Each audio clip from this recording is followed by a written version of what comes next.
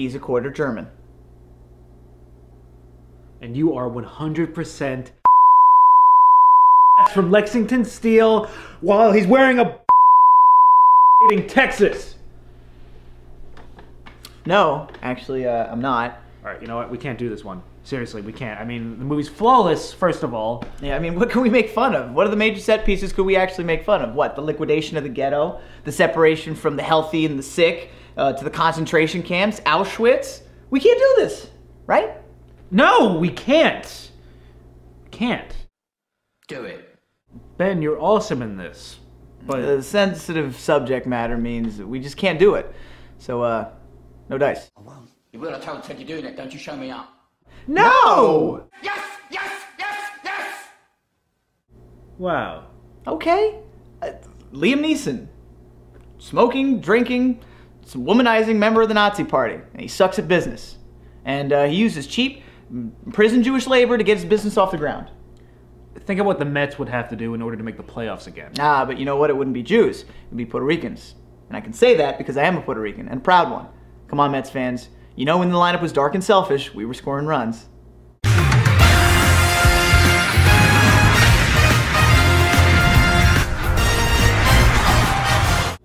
Schindler and his accountant, Itzhak Stern, played by Ben Kingsley, spend the course of the film saving lives.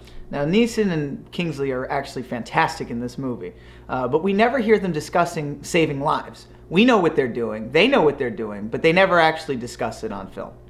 Because, you know, Voldemort. Yeah, well, it's top down. I'm fucking freezing. Ralph Fiennes brilliantly plays Amon Goeth, a sociopath and commandant who runs a concentration camp filled with Schindler's workers. He brought them there after he massacred the ghetto that he previously forced them to live in. First of many scenes in the film to make me cry. That's Dennis Weaver from our 70s and 80s review of our Spielberg movies. He doesn't forgive us for calling him a pussy in the movie Duel. Now he shows up every time we cry. You mean every time you cry? Like, you didn't cry during Schindler's List. Well, who doesn't cry at the end of this movie? Scheisse. Not so funny, is it? No, because it's about the friggin' Holocaust. Uh, Actually, one of the film's biggest criticisms is that it's unlike other Holocaust films like The Pianist or The Dead Zone. Yeah, those movies make me want to slip my wrist the correct way. Down the highway, not across it. Schindler's List is actually filled with hope in the face of what was humanity's darkest hour. Now, Spielberg did try to hold back a little bit, but his traditional elements are still there, like reflections and heavy backlighting. There are real stylistic choices in its editing and music, and some people think that the subject is too sensitive to even take that kind of approach. Yeah, well, even for scenes like this.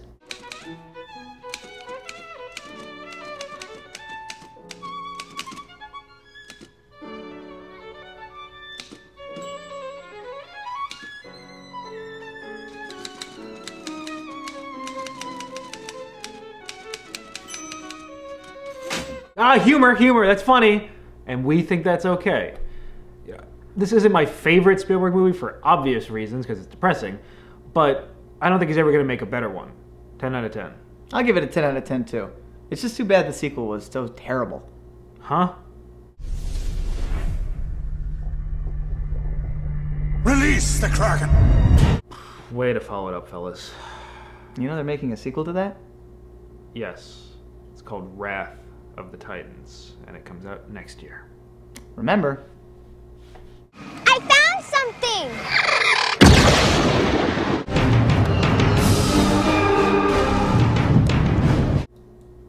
What the f happened? I don't understand. I know. Steve okay?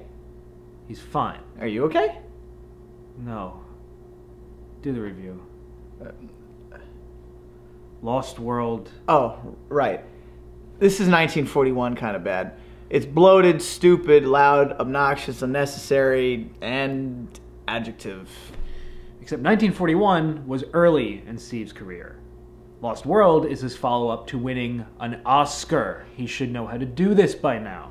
I mean, it's been four years, and yes, he did deserve that four years off, but this is what we get? It's like going to the Olympics as Tonya Harding, and we're Nancy Kerrigan. Why? it's too funny. Okay, instead of going through the plot of this movie, we're just going to list what's wrong. Jeff, Jeff Goldblum. Goldblum. Okay, this guy's great in a supporting role, and in the first one, he was pretty awesome. But when you put him in a lead role, it's usually ended up being the same thing. Brundlefly.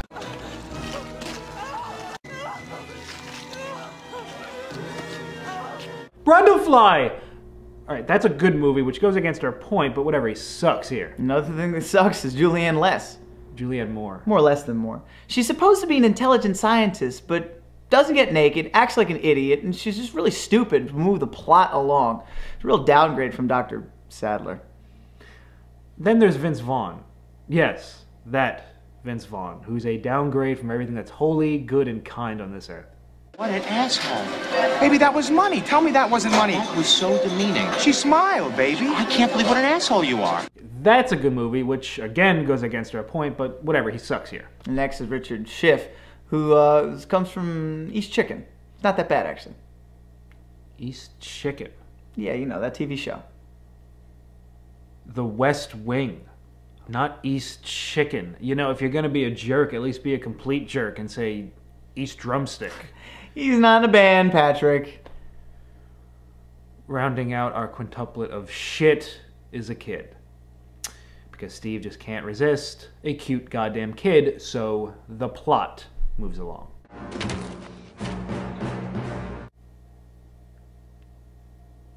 That's Goldblum's daughter, huh? Yeah, Doesn't really have his eyes. her lips, Her nose. her hair. Mother must be Asian. To make matters worse, she uses her gymnastic skills against the dinosaurs. Hey, you!